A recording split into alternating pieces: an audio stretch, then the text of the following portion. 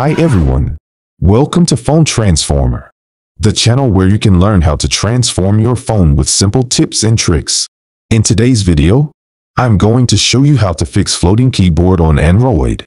This is a feature that allows you to move your keyboard around the screen. But sometimes it can be annoying or inconvenient. So, if you want to disable it and go back to the normal keyboard, just follow these easy steps. Step 1. Open any Android app that enables your device's typing environment. For example, you can open your messaging app, your browser, or your Notes app. Basically, any app that lets you type something. Step 2.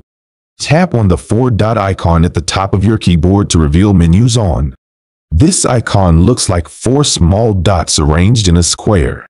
You can find it on the top right corner of your keyboard, next to the emoji icon. Step 3.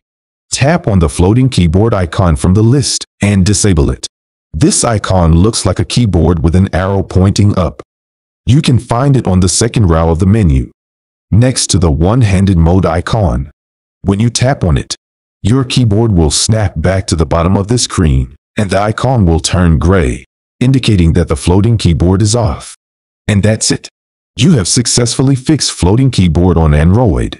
Now you can enjoy typing without worrying about your keyboard moving around. I hope you found this video helpful and informative. If you did, please give it a thumbs up and subscribe to our channel for more phone transformation videos. Thanks for watching and see you in the next one.